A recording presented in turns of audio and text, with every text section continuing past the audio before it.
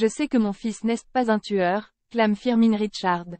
Pourtant, c'est bien pour assassinat qu'il comparaît devant Ce lundi 6 février se déroulait le deuxième jour du procès de Kenneth Léova devant la cour d'assises de Seine-Saint-Denis. L'homme de 40 ans est jugé pour avoir, le 11 avril 2021, porté plusieurs coups de couteau à Madani Touré, 38 ans, dont un lui a été fatal. Tout est parti d'une dispute entre les deux hommes sur le site de streaming Bigo Live. Kenneth menaçait alors d'égorger quiconque approchera du domicile maternel. L'usage des réseaux sociaux de Kenneth Léova inquiétait déjà sa mère depuis un certain temps. C'est ce qu'elle a expliqué en ce deuxième jour de procès où elle était attendue à la barre, comme le rapporte le Parisien dans son édition du mardi 7 février. Kenneth vivait re il bascule vers le monde virtuel. Souvent, la notoriété de sa mère est au cœur des querelles. Il part au quart de tout. Firmin Richard sera elle-même harcelée, écrivent nos confrères. Et la principale intéressée de confier, je sais qu'il était addict. Moi, je déteste les réseaux sociaux. Je lui ai dit. Tant que tu ne sortiras pas des réseaux, je ne porterai pas plainte.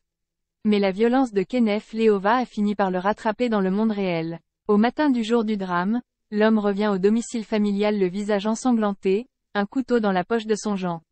Quelqu'un est venu me chercher, je me suis défendu. Maintenant, il est à Avicenne, l'hôpital de Bobigny, NDLR, rétorque l'intéressé à sa mère alors que celle-ci lui réclame des explications.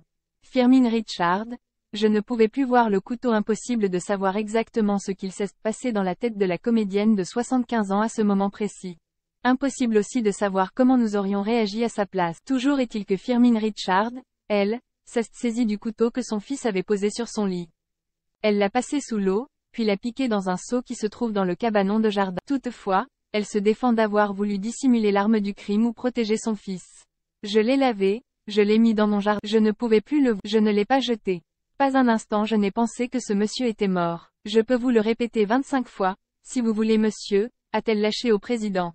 Firmin Richard a profité de son passage à la barre pour décrire son fils comme un enfant hyperactif, turbulent, ayant du mal à garder un travail, mais serviable. Au cours de cette journée, nous avons également appris que Kenneth Léova a subi la violence de son père, Antoine Léova, ancien médiateur auprès de jeunes délinquants. Il frappait son fils si férocement avec une ceinture qu'il ne pouvait plus s'asseoir de la semaine, raconte le Parisien. Un père qui ne vient pas voir son fils en prison, estimant que c'est trop dur psychologiquement. Ce que ne comprend pas Kenneth qui lui rappelle. Papa, tu es allé voir les enfants des autres en prison, pourquoi tu ne viens pas me voir, moi? Un récit poignant.